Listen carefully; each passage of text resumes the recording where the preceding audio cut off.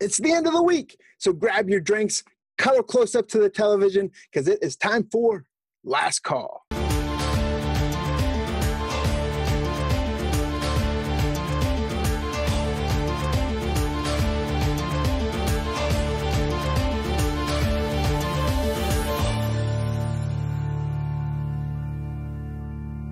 Hey, what's going on, guys? Brian Jack with Advanced Comics, and this is the last call. That's right, we're talking about those comic books that are hitting final order cutoff this coming Monday night. We do this each and every week, giving you guys our picks for comics that are hitting that final order cutoff, so you know so you can get those orders in and guarantee your copy and possibly get that highest discount, right, Jack? Oh, absolutely. Yeah. It helps out the retailers, lets them be able to predict orders, as well as helps you out not only in price, but like you mentioned, locking in that copy so you don't have to play that Wednesday Warrior game. Plus, it's also valuable to you, the viewer, because these are a lot of these books that we end up talking weeks down the road on that Bolo show. And if you watch now, get those orders in, you'll already have your copies in hand. And we're going to get into that right now, starting with our first pick this week. And we're talking about Dark Knight's Death Metal number three. This has been one fantastic storyline, but this is going to have a lot of great covers too. Artgerm variants. We got that sweet Riccardo Federici variant. All those are also regular price, but this is just a great story in its own, isn't it, Jack? Yeah, it really is. Um, you know, there's obviously a lot of heat on this one with the Snyder Capullo combo always getting people's attention. Um, you mentioned that Federici variant. That's definitely my favorite of the bunch. Um, also, you're getting the increased trend that we're seeing with DC Comics. They've got an incentive for this one as well. So that's one worth noting. And there will be a bunch of retailer exclusive variants for this one, as we've seen this throughout the series that uh, retailers are buying into this set so much so that they're going beyond issue number one. And if you're trying to make heads or tails of what covers are out there and where they're available and when they go on sale. Be sure to head over to exclusivevariants.com for all of that information and so much more.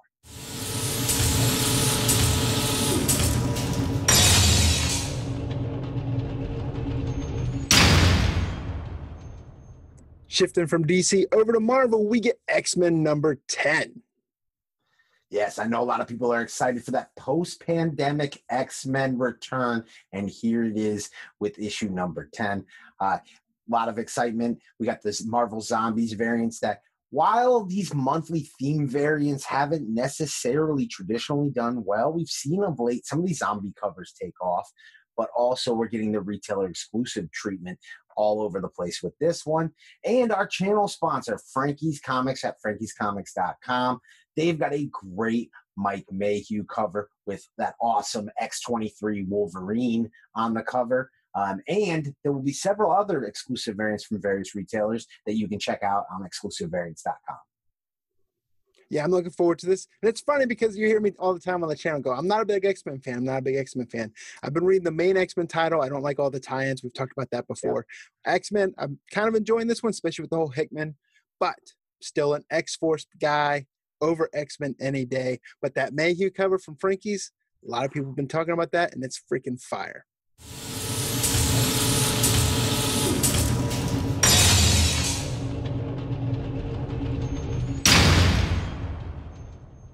We're sticking with Marvel for a second. We're sticking with that mutants, and we're going over to X Factor number one. Now, the X Factor originally was a team that consisted of some of the original X Men.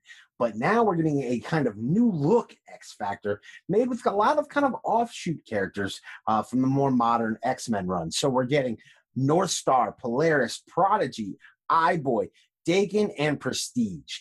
And this new team is one that I'm more excited about than some of the previous kind of groupings uh, that were associated with X Factor because there's a lot of characters here that haven't been used uh, or underused that could get some attention and spotlight characters like Northstar and Daken, Um, and it'll be interesting to see if people get on board. All like you we've mentioned, all of the X books seem to have reader buzz. So I expect that to kind of follow into this title.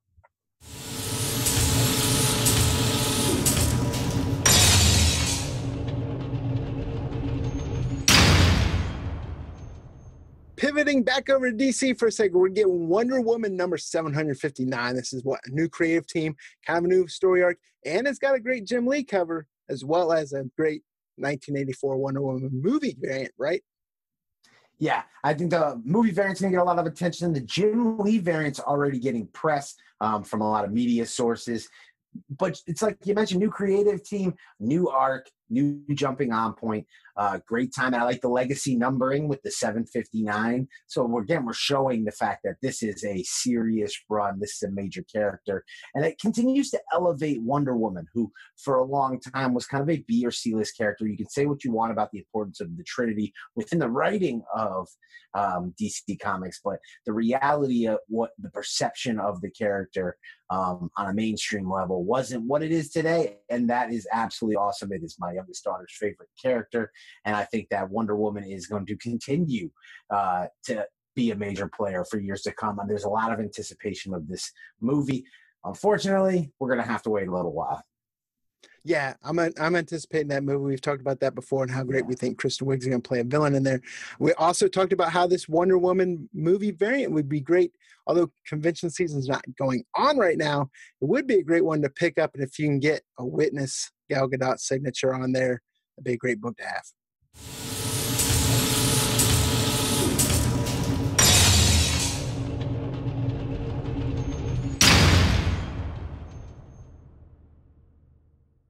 Then here we have Legion of Superheroes number seven. Everyone got hyped over number six with the Gold Lantern. We have a one in 25 variant with the Gold Lantern on the cover.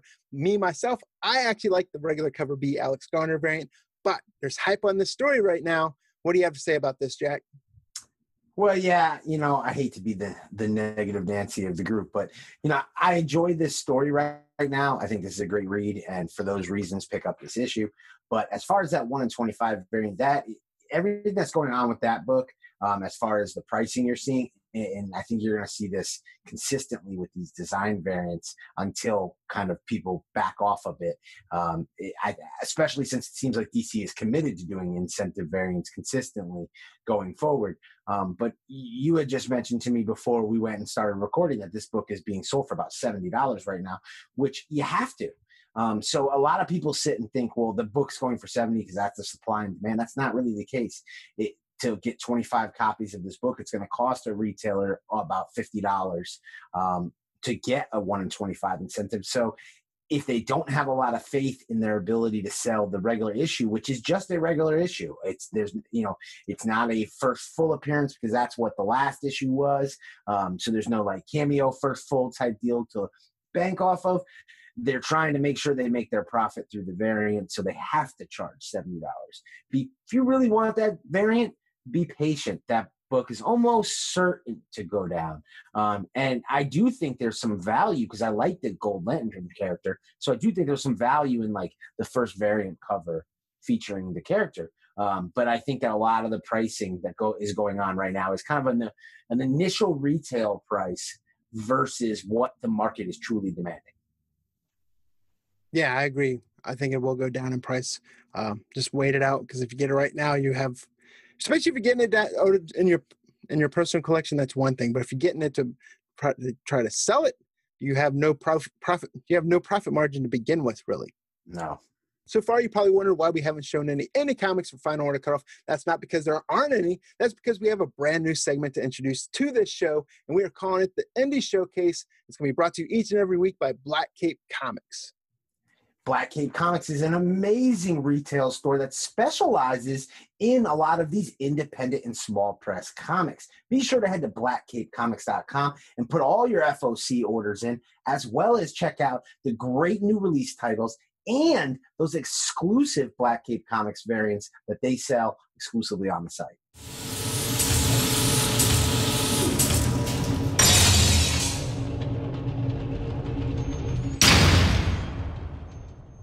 Here we have from Boom Studios. It's a brand new series, but not brand new to comics. We're talking about that popular video game, Mega Man, and this is Mega Man Fully Charged number one.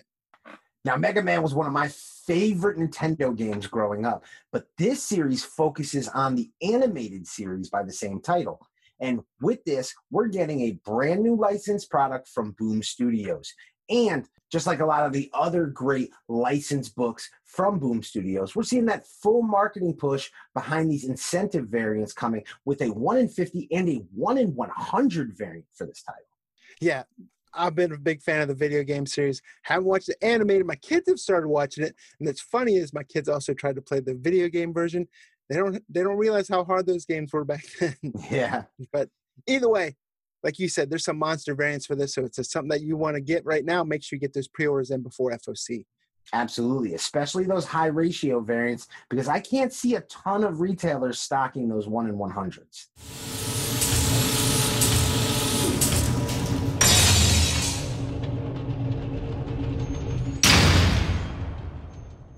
Here we have that Texas Blood issue number two. We talked about issue number one on last call. It was just released and it's gotten great reviews. I definitely enjoyed it, so we're definitely having issue number two on here. And the great thing is, number two kicks off a brand new story arc already. It's going to have two covers for it as well. That's right. And both covers are available for pre order right now on blackcapecomics.com for 15% off cover price. So those are our picks for comic books that hit hitting final order cutoff this coming Monday night. But we have some more for you, just like we did in the past. We actually have second prints starting to hit final order cutoff. And Jack's going to tell you about them right now. That's right. Those late printings are back. And we just told you on Three Up, Three Down that that Thor Donny Cates run is red hot. So no surprise that we get Thor number five, the second print, as well as Thor number two, the third print. And That's coming along with Marvel Action Avengers number 10, the second print. That's the IDW All Ages series. Strange Academy number one comes with a second print. Star Wars number three with a second print. Uh, Star Wars Bounty Hunters number one comes with his second print. Star Wars Kylo Ren number one comes with his fourth printing. And Darth Vader number two comes with his second printing, as well as the all ages IDW Star Wars Clone Wars number one comes with a second print. So there it is, guys. Those are our picks plus those later printings. Make sure you get those orders in Monday night before final order cutoff. Contact your LCS, get the orders in online. Also, we talked about some of those retail exclusives. Make sure you guys check out exclusivevariants.com so you can see everything that's available from those retailers in one centralized location. This has been Jack and Brian with Simpleman's Comics. We'll see you guys in the next video.